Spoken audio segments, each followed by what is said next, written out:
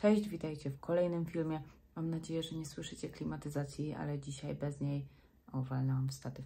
Dzisiaj bez niej nie wysiedzę, a to będzie taki właśnie film statyczny. E, Mam tutaj na komputerze Wasze pytania, e, które zadawałyście, bo wydaje mi się, że one wszystkie są od pań, e, które zadawałyście mi nie tylko ostatnio, ale już w sumie bardzo dawno i robiłam sobie screeny, e, żeby potem zrobić takie kategorie pytań. I dzisiaj będzie kategoria, powiedzmy, dziecko.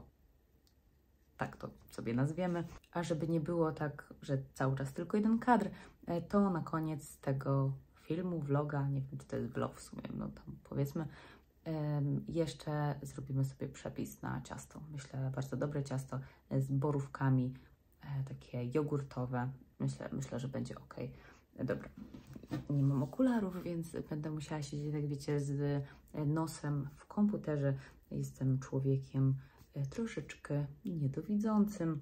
No, będę musiała w Polsce przejść się do optometrystki, to się tak nazywa? Po pierwsze, żeby sprawdzić, czy ta wada mi się nie pogłębiła, a ja bardzo dużo spędzam czasu przed komputerem, przed telefonem, więc słabo to widzę, szczerze mówiąc, ale też po drugie e, chciałabym spróbować, ale na maksa się tego boję, na maksa, ale chciałabym spróbować e, włożyć sobie do oka soczewkę. No, myślę, że w wielu sytuacjach to by trochę mi ułatwiło, szczególnie e, latem, kiedy mam okulary przeciwsłoneczne i gdzieś e, idziemy, lecimy w jakieś piękne miejsce, które chciałabym zobaczyć w lepszej ostrości. Ale czy to się uda? Nie wiem. Mam, mam jakąś tak, taką mini traumę, sobie tak powiem, e, bo kiedyś e, już te soczewki miałam i nie było fajnie. I pan, u którego byłam, wręcz na mnie krzyczał, że nie umiem sobie tego włożyć do oka. A, średnio, średnio, ale to tak y, myślę, że dopiero za kilka miesięcy. Najpierw y, zdecydowanie jest co robić. Mm, dobra, czekajcie, może sobie tak tutaj postawię to, tutaj Was. E, I dobra, po pierwsze, e, to nie jest pytanie, tylko to jest kwestia, e, którą miałam poruszyć i koniec końców nie poruszyłam, a mianowicie zakończenie przedszkola. Miałam Wam powiedzieć, jeżeli coś mnie tam zaskoczy, jeżeli coś będzie dziwnego. No i powiem Wam, że na początku było normalnie, tak to nazwijmy. E, Wszystko się działo na trawniku. To jest e, szkoła łączona z przedszkolem, więc tam między budynkami e, jest taki dosyć spory trawnik. Ustawili tam krzesełka, takie białe. Mówiłam to też na Instagramie, że to trochę wyglądało jak ślub, ale, ale tak, tak było. I mm, nawet częściowo był tam cień i bardzo się z tego cieszyłam, bo to był dzień, gdzie, kiedy czułam się źle, bardzo źle i musiałam naprawdę y, bardzo zebrać się w sobie, żeby tam w ogóle pojechać, a oczywiście nie chciałam tego przegapić. No i była taka część oficjalna, mm, w tym przedszkolu są trzy grupy e, na tym samym poziomie i e, jakby tak zebrać różne dzieci w spektrum autyzmu, no to jest ich tam e, szóstka, szóstka albo siódemka, więc y, to też było takie zakończenie, żeby mm, dla nich nie było zbyt intensywne, więc y, od razu nam powiedziano, powiedziano żeby y, nie klaskać, wiecie, za każdym razem, kiedy jakieś dziecko odbiera dyplom.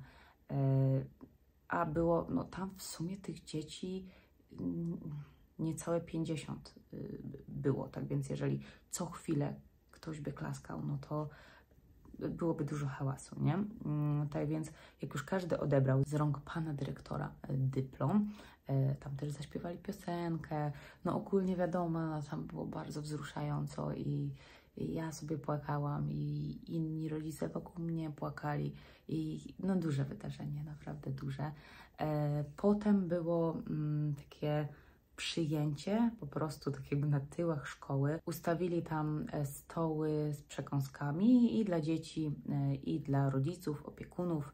E, najróżniejsze były przekąski. Akurat no, ja ich nie próbowałam, więc nie powiem Wam, czy były dobre, ale było tego naprawdę dużo i jakieś tam mafiny, ciasta, ciastka, ale też takie, hmm, takie bardziej wypasione, jakieś tam i koreczki, kanapeczki, łódeczki z czymś tam, łosoś, bla, bla, bla. Mm, no i też była, e, był taki stół z napojami. No i wiadomo, głównie były jakieś tam niezdrowe typu cola, fanta, sprite, y, jakiś tam sok. E, była też woda i zapytałam się męża, nie, czy może pójść po, po wodę dla nas. I on tak przychodzi z tymi kubkami i on mówi, Mek, zgadnij, co, co tam jest, co tam można wziąć. Ja tak w ogóle, o co mu chodzi? A on mówi, wiesz, że można normalnie wziąć e, wino białe, czerwone, ja mówię tak, na, na zakończeniu przedszkola, gdzie jesteśmy wśród 4 i 5 latków, gdzie praktycznie wszyscy przyjechali samochodami, o co chodzi? I ja mówię, nie no, przecież nikt tego nie będzie brał. I on do mnie, to popatrz w prawo. Ja tak patrzę i tam normalnie każdy stał z winem. I trochę to było dla mnie dziwne. Wiem, że dla niektórych to jest normalne, ale mi zakończenie przedszkola z czterolatką u boku y, nie kojarzy się z imprezą alkoholową. Nie wiem, jakoś tak, ale no tu jest też inny kraj. Tutaj nie jest czymś, y, nie wiem, nienormalnym y, do śniadania, do lunchu czy czegokolwiek. Wziąć sobie właśnie kieliszek wina, prosecco czy, czy coś takiego. Trochę się do tego przyzwyczaiłam już, że zawsze jest ten alkohol głównie wino. Natomiast e, nadal w mojej głowie zakończenie przedszkola, no nie. To taka okazja nie. No i tak jak mówię, nie? Potem co? Do samochodu. Nie sprawdzałam, kto pił, jak kto prowadził i, i tak dalej. No ale, no, no nie wiem, tak średnio, średnio mi się to podobało. E, dobra, następnie tutaj miałam taki komentarz. Mm, Y, jak jest z przedszkolem na Malcie? Twoja córka już je kończy i dalej szkoła? Pozdrawiam. Również pozdrawiam. Y, tak więc przedszkole na Malcie trwa dwa lata. Ona je zaczęła, ona jest z listopada. Y, tutaj w różnych pytaniach to będzie istotne. Ona się urodziła w listopadzie, więc jeżeli w, w, na koniec września rozpoczyna się rok szkolny, przedszkolny, no to ona zawsze miała ten powiedzmy rok mniej niż większość dzieci. Tak więc mm, ona poszła do przedszkola mając niecałe 3 lata. E, chodziła tam 2 lata i tak, teraz normalnie na Malcie e, zaczynałaby szkołę. I tutaj nie ma takiego czegoś przejściowego, jak e, w Polsce jest zerówka, że takie połączenie nauki z zabawą. Tutaj, no po prostu zaczyna się szkoła, klasa pierwsza, ona by rozpoczynała ją, tak jak powiedziałam, mając 4 lata, mm, ale rocznikowo już 5. I tak to jest tutaj zupełnie normalne. E, nie wiem, co, co na razie jeszcze dodać, bo też wiem, że są pytania mm, w podobnej tematyce, więc lecimy. Czy myśleliście, żeby zostać na Malcie jeszcze na czas szkoły podstawowej? I tak, i nie. Na czas całej szkoły nie, nigdy. Mm, mieliśmy takie założenie, taką umowę między sobą, że kiedy nasze pierwsze dziecko, my wtedy byliśmy w ogóle, wiecie, chłopakiem i dziewczyną i się przeprowadzaliśmy na Maltę, to ten etap. Y, ale wtedy już mieliśmy takie, mm, takie ustalenie, że nasze pierwsze dziecko pójdzie do szkoły już w Polsce, raczej z powrotem, nie wiem, w Polsce. E, I to był taki, taki nasz deadline, i tego się trzymaliśmy. No i tak też zostało. Natomiast zerówka w Polsce dla niej, tak rocznikowo, zaczyna się za rok, więc trochę myśleliśmy nad tym, co robić właśnie przez ten rok. Zrobił się nam taki gapier, gdzie tutaj kończy przedszkole, a zerówkę szkołę zaczyna w Polsce za rok. No i e, tutaj rozpatrywaliśmy różne scenariusze. Jednym z nich była tutaj szkoła na rok. Zrezygnowaliśmy z niego, e, jak widać, e, jednak stwierdziliśmy, że wybieramy szybszą przeprowadzkę, tylko taką bardziej na spokojnie. Więc ona, tam chyba też będzie o to pytanie, ale to już może od razu powiem. Więc ona będzie chodziła przez rok do przedszkola, do pięciolatków w Polsce, a potem, potem szkoła. Ona też bardzo mm, można powiedzieć tak, rozwinęła się społecznie, bo pamiętam, jak e, opowiadałam Wam właśnie te dwa lata temu, kiedy byliśmy jeszcze przed rozpoczęciem w ogóle przedszkola, e, że ona jest bardzo nieśmiała i taka nieufna też co do dzieci, e, więc ja tam się nie martwiłam, nie wiem, o język angielski, o to, że nie poradzi sobie z literkami, czy, czy coś takiego, tylko właśnie bardzo chciałam, żeby ona się otworzyła na dzieci totalnie się to udało. To po prostu, jak ona teraz, mm, nie mogę powiedzieć, że jest u, tu najodważniejsza i w ogóle, że jest mm, bardzo otwarta, obojętnie na jakie dziecko, nie aż tak, ale to, jaki progres nastąpił,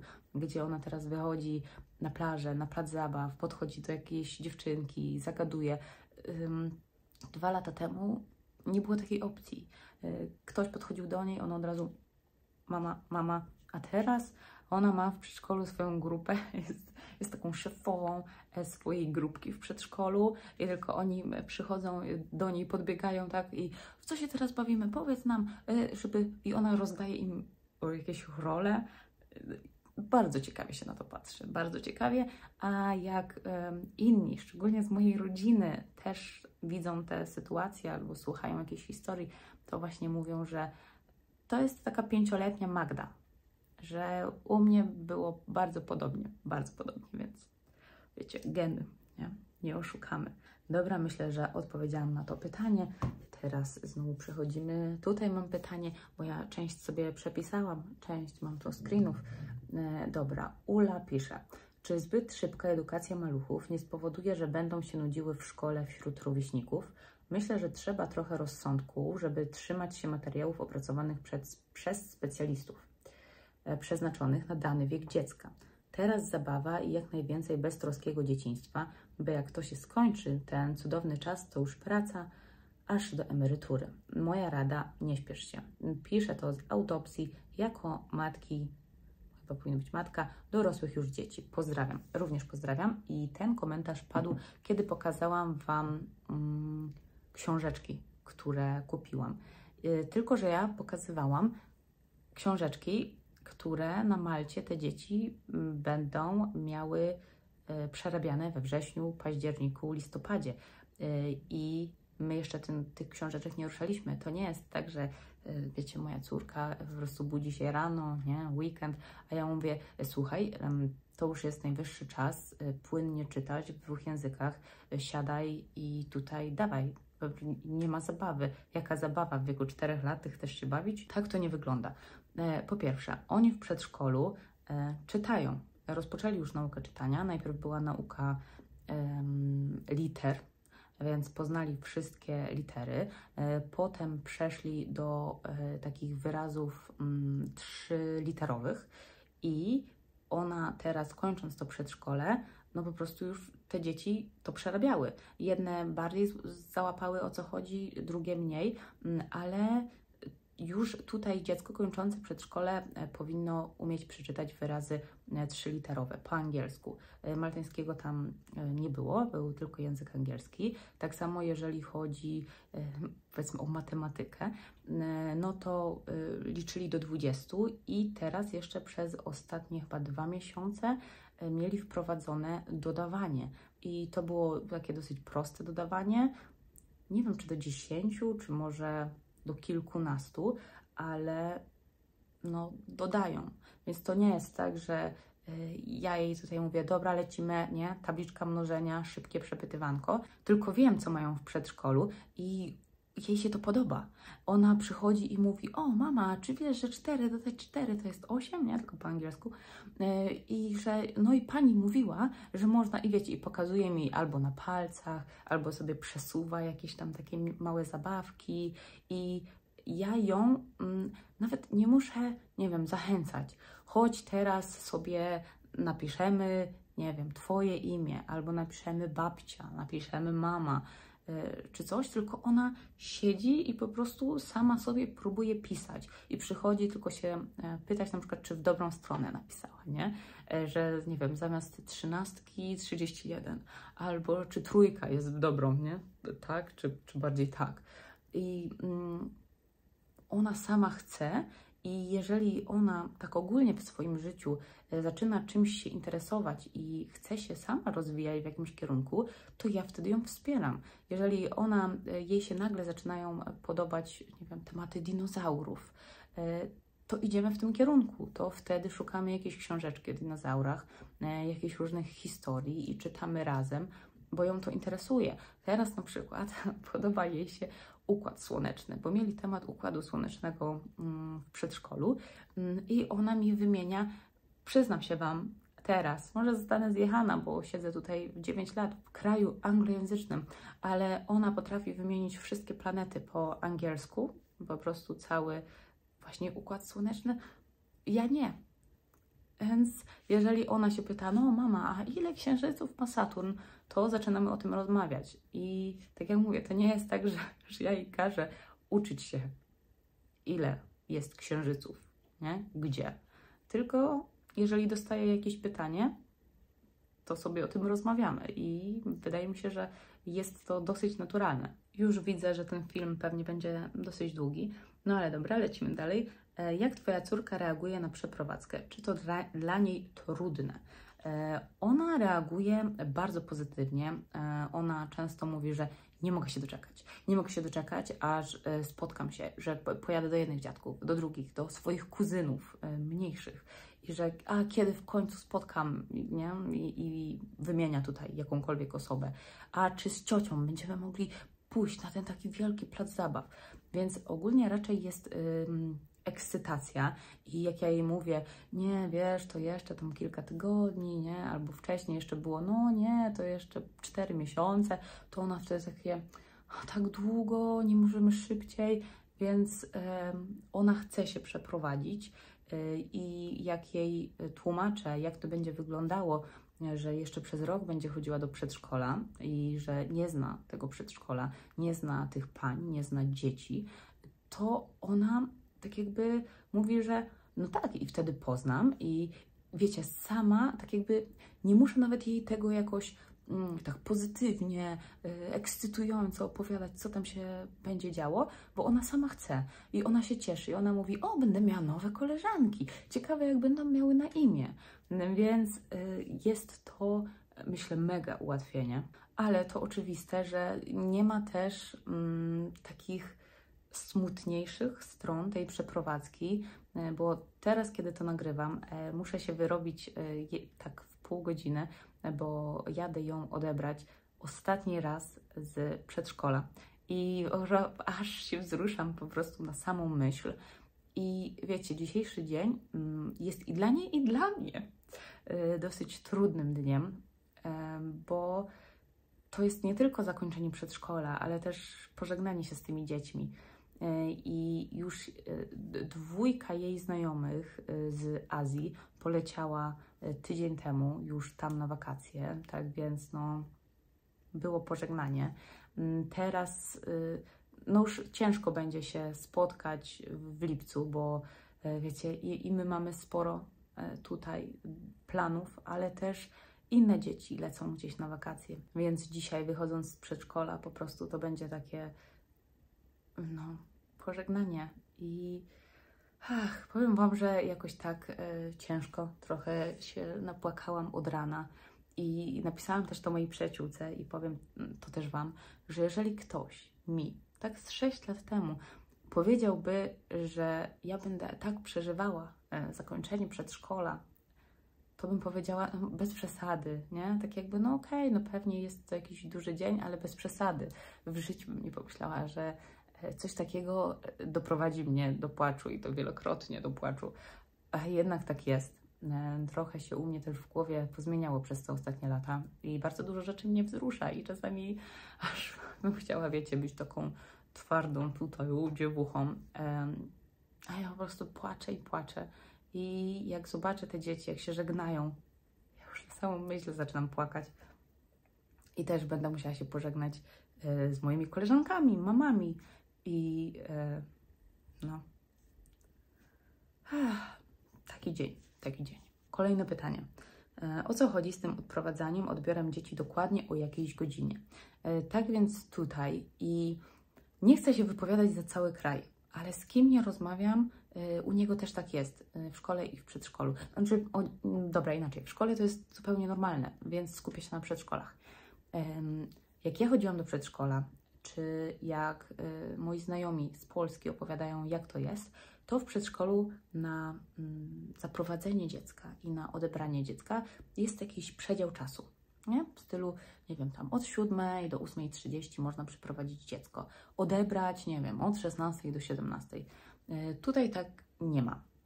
Tutaj mamy punkt, że punkt 8.30 y, to dziecko musi po prostu tam wejść.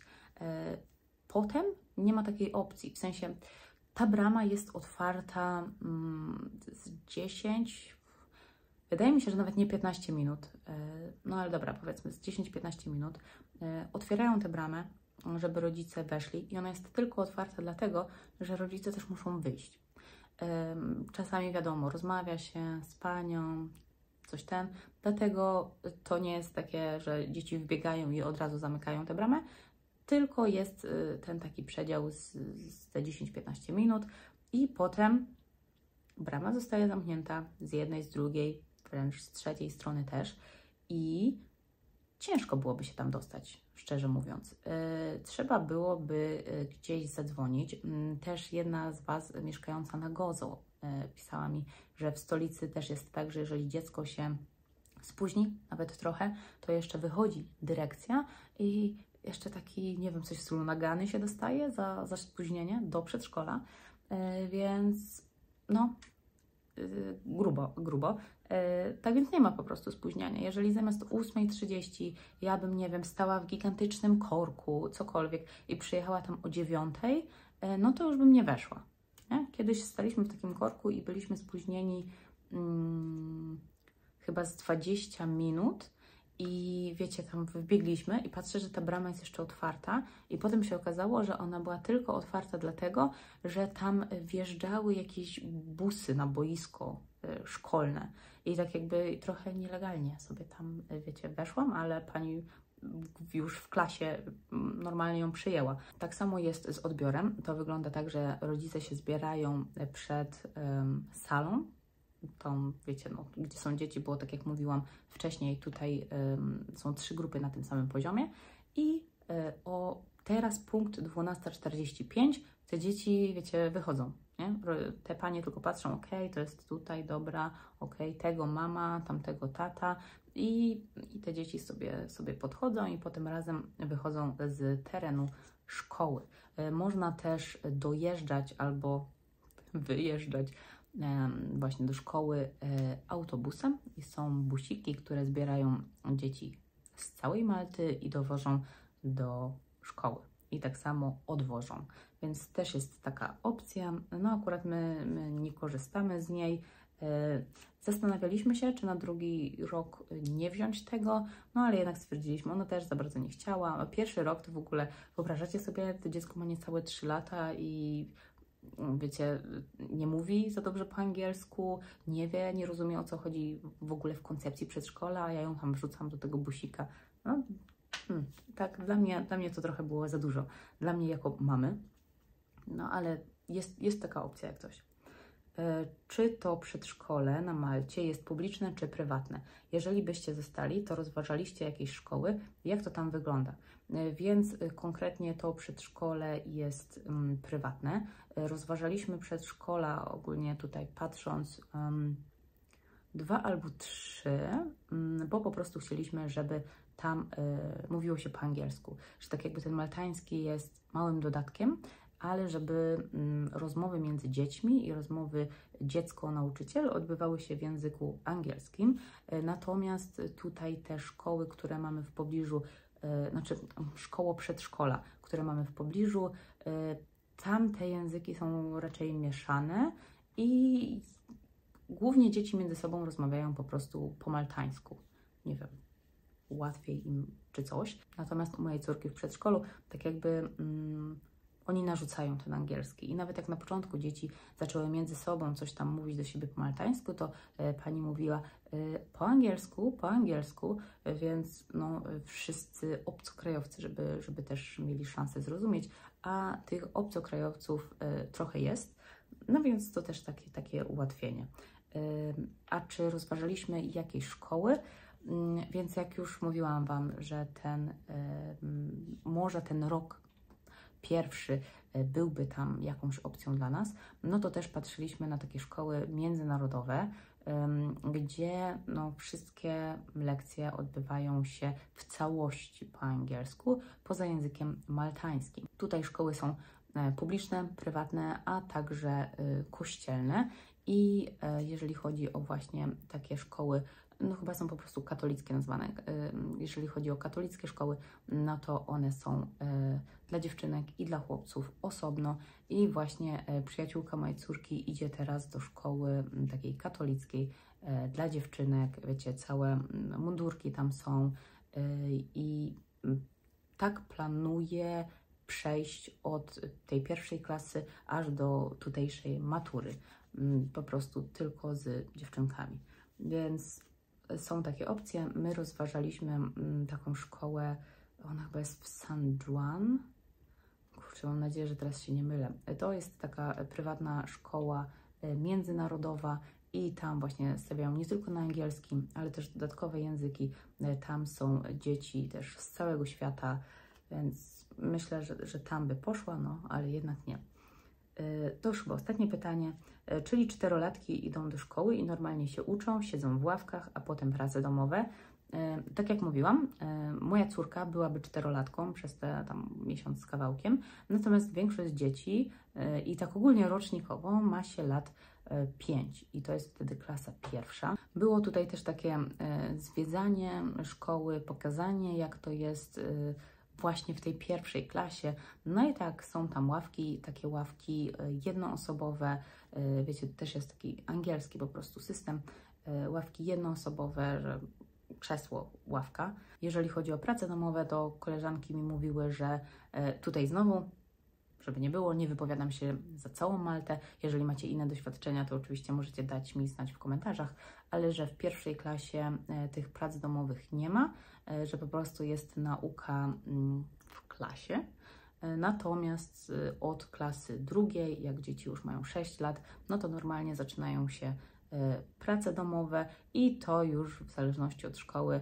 Jedni mówią, że no to nie są jakieś duże prace domowe, a inni mówią, że zdecydowanie są i że dziecko musi też po lekcjach bardzo dużo spędzać czasu mm, nad książkami.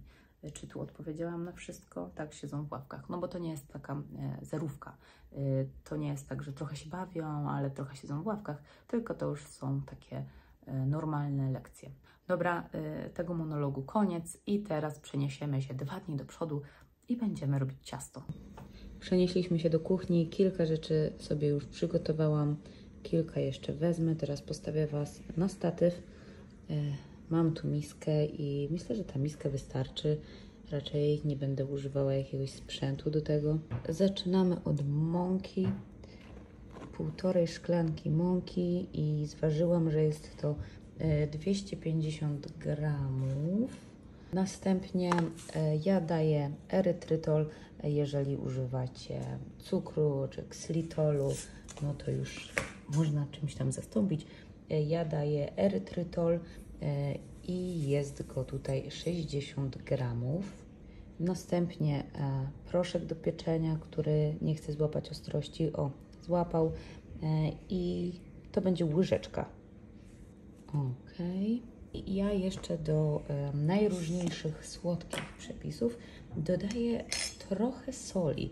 Tak, nie chcę powiedzieć szczyptę, bo zawsze jak słyszę gdzieś szczypta, no to jak dla mnie szczypta szczypcie e, nierówna. E, ja daję go, znaczy daję jej e, tak, tak tylko ciut, ciut, ciut na podbicie smaku. Mm, I teraz sobie wymieszamy. Dzisiaj przychodzi mi z pomocą łycha, którą dostałam albo z Tanzanii, albo z Kenii od mojej przyjaciółki, uwaga, słoń. Trochę już mi to wyblakło, jak e, miała taką wycieczkę objazdową po Afryce. E, Pewnie można by tę mąkę przesiać, ale powiem Wam, że nie lubię sobie dodawać em, obowiązków w kuchni. A raczej stawiam na to, żeby było szybko, prosto. No. Więc teraz e, wrzucimy, a raczej wlejemy olej, tylko jeszcze tutaj na boku go zważę. Jest to 30 gramów oleju. E, Masło roztopione też dałoby tutaj radę. E, Następnie e, skyr, bo chyba nie powiedziałam Wam, że robimy mm, jogurtowe ciasto, więc skyr może być też jakiś po prostu gęsty jogurt, na przykład grecki. Skyr ma dużo białka, więc fajnie. Na koniec też Wam podam, ile całość ma kalorii, jeżeli kogoś by to mm, interesowało. Ok, odmierzyłam e, 200 gramów skyra. Chyba ostatnim składnikiem tego ciasta, no nie licząc borówek, którymi zaraz się zajmiemy, będą jajka. E, damy dwa jajka. Dobra, może tak, żeby nie narobić więcej bałaganu. I numer dwa. Pozostało nam wymieszać składniki. Zobaczymy, czy konsystencja będzie ok, czy jeszcze coś warto dolać. Coś bardziej płynnego, no bo też wiadomo, nie? Jeżeli y, użyjemy jogurtu mm, bardziej gęstego, no to on się inaczej zachowa niż taki zwykły. Ok, ciasto chwilę poczeka z boku. Wezmę sobie miskę, bo muszę zważyć, ile tutaj w ogóle tych borówek nasypałam. Więc zróbmy tak. Ok. I e, szklanka borówek, poprosimy ostrość. E, ja je wyciągnęłam z zamrażalnika, e, więc no, e, widać, widać płyn. I jest ich, no nie wszystkie zechciały wyjść, więc jeszcze dołożę, ok. E, 200 gramów, dokładnie 201, ale dobra, 200 gramów i e, ja tego chyba się nauczyłam, pamiętam z Instagrama, Tochy Brochy, to jest taka dziewczyna, która robi bardzo smaczne rzeczy, mm, żeby jakieś tam jagody, właśnie borówki, no i teraz zapomniałam jak to się nazywa, taki proces, który, mm, gdzie posypujemy je mm, skrobią ziemniaczaną, żeby one aż tak nie puszczały tego soku. I wezmę, myślę, że łyżeczka wystarczy. Też jak tam trochę poleci, to nie będzie źle. Może tyle. No nie rozsyp Magda. Mieszamy. Zgadliście. Wymieszamy, wymieszamy, po czym e, wrzucimy je już do tego ciasta i tylko mm, przemieszamy. I potem, o widzicie, nawet chyba za dużo e, tego. Bardziej taka, myślę, płaska łyżeczka by wystarczyła. No ale dobra. Raczej tego nie cofnę. Mamy ciasto, mamy borówki. Sypujmy. E, Powiem Wam, że dużo bardziej lubię e, piec jakieś rzeczy, takie, m, chodzi mi słodkie, jakieś ciastka, ciastka i tak dalej, e, niż gotować na przykład obiad. Dobra, wymieszamy. O, dużo będzie tych borówek, dużo.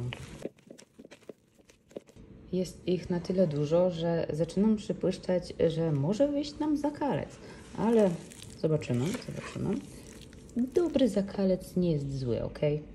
Jako, że przed przeprowadzką zużywam różne rzeczy, e, mam też taką foremkę i jestem ciekawa, czy, czy to do tego wejdzie. I powiem Wam, że nie mam pojęcia, dlaczego w ogóle takie foremki mam u siebie. Kompletnie nie pamiętam tego, żebym coś takiego kupowała. I teraz y, do piekarnika.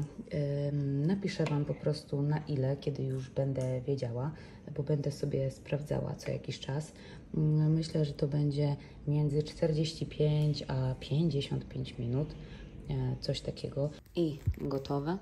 E, Zajęło to, em, czekajcie, 47 minut, e, ale proponuję, no bo mamy różne piekarniki, e, po prostu, wiecie, wbić wykałaczkę i i sprawdzić. E, pachnie świetnie, wygląda mimo braku ostrości. Czekajcie, może spróbuję to naprawić. Wygląda też nieźle, ale jeszcze jest e, trochę ciepły, więc poczekamy i potem będziemy kroić.